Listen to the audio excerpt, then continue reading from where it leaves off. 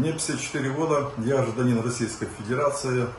Я точно знаю, что Украина это мой дом, в котором я родился, вырос.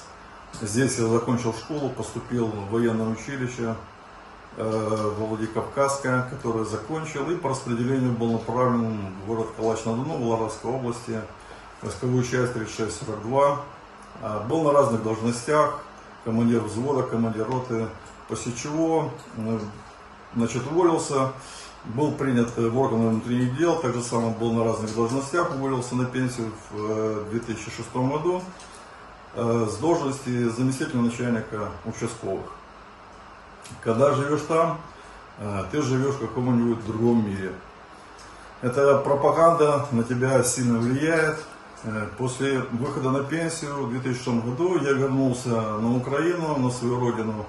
У меня просто открылись глаза. Сейчас мне стыдно за то, что я служил.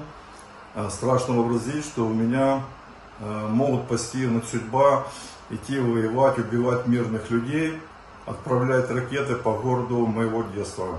Все отношения со служивцами я разорвал, со многими я дружил долгие годы.